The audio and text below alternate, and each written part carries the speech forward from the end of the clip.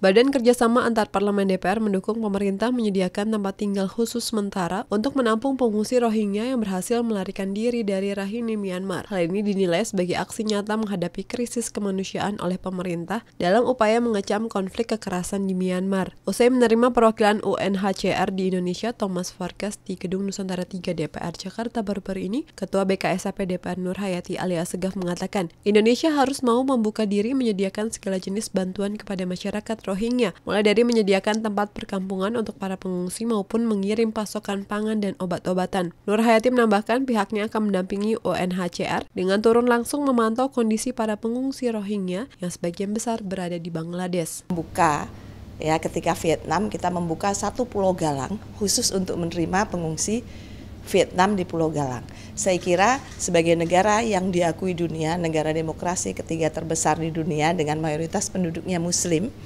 ini segera bisa dilakukan oleh pemerintah.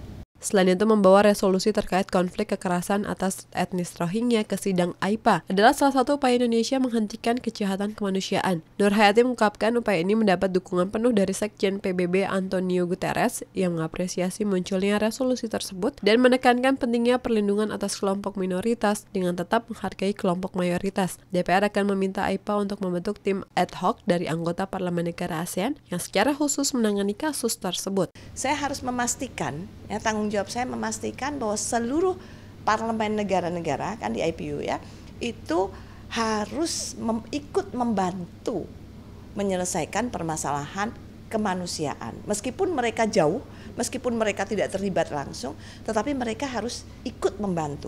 Naomi dan Arif, TVR Parlemen melaporkan.